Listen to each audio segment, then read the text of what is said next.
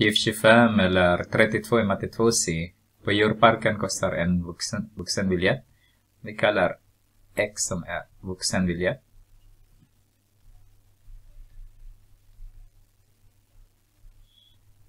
Och barnbiljetter som i då barn. Biljett. Nej, biljett bara. Inte biljetter. Biljetter. Bara biljett. Okej. Okay. Eh, det finns två. Så har vi en vuxenbiljett och tre barnbiljetter. Kostar 700 kronor.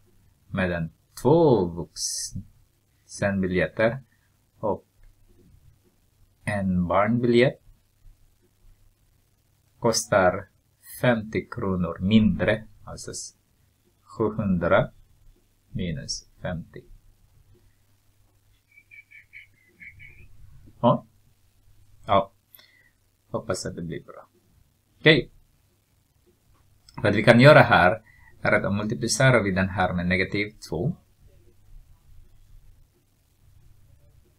Nej, nu är ju 3i. 3i här. Barn. 3i där också.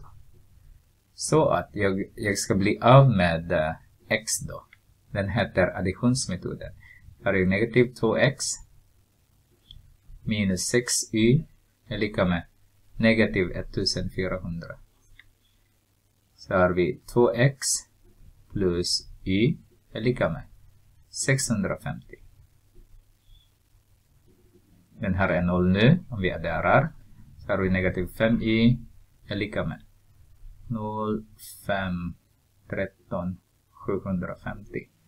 Negativ. Om vi dividerar med negativ 5, negativ 5. Så har vi i är lika med eh, 1, 5, 150 kronor för barnbiljett. Eh, löser kundsystemet och besvara frågan Räcker 100 kronor i entré till två vuxna och tre barn? Vi vill se. Och vi ska ha X också.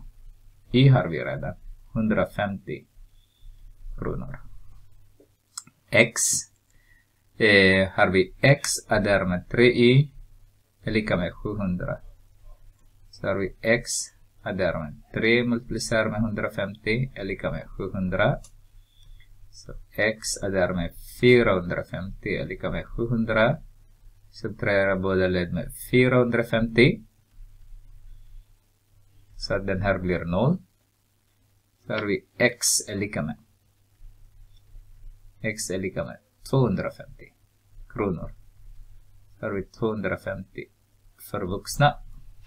Så vi titta om den funkar med 1000 så har vi x plus 3y är lika med 700. Nej. Vad blir det? Förlåt. Här är fel. Nej.